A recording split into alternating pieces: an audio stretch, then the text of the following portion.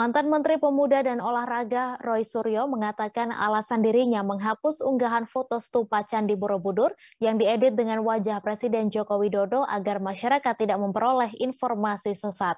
Selain itu, Roy Suryo mengungkapkan dihapusnya unggahan itu demi masalah terkait wacana naiknya tiket Candi Borobudur menjadi Rp750.000 kembali kepada proporsinya.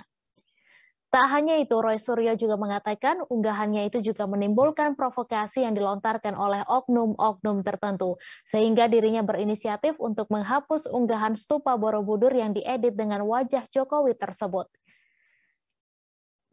Selain itu menanggapi namanya menjadi trending topik di Twitter, Roy menganggap hal tersebut hanyalah pengalihan isu yang dilakukan oknum tertentu. Sementara ketika ditanya apa yang dilakukan ketika dilaporkan atas unggahan tersebut, Roy mengaku akan menyampaikan detail-detail yang harus dilakukan. Hanya saja Roy tidak menjelaskan lebih jelas terkait detail yang dimaksud. Diberitakan sebelumnya, nama Roy Suryo menjadi trending topik di Twitter pada hari ini, Rabu 15 Juni. Hal tersebut bermula dari unggahan Roy Suryo berupa foto stupa Candi Borobudur yang menyerupai Presiden Joko Widodo di akun Twitter pribadinya pada Jumat 10 Juni. Dalam unggahannya tersebut, ia mengunggah dua foto stupa Candi Borobudur yang sudah diedit dengan yang sudah diedit dan menggantinya dengan wajah Jokowi. Selain itu, ia juga mencuitkan terkait wacana kenaikan harga tiket Candi Borobudur menjadi Rp750.000 yang menimbulkan protes di masyarakat.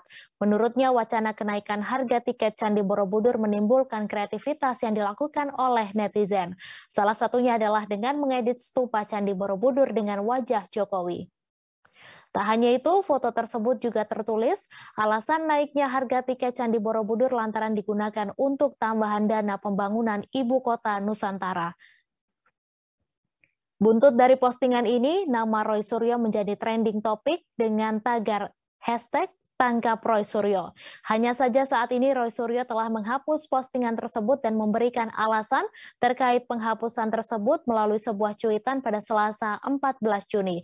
Selain itu, Roy Suryo mengaku bahwa unggahan foto tersebut didapatnya dari pengguna akun Twitter lainnya dan mengunggah link akun yang dimaksud. Hingga Rabu pagi, tagar tangkap Roy Suryo menjadi trending topik nomor satu di Twitter dengan 10,5 ribu cuitan.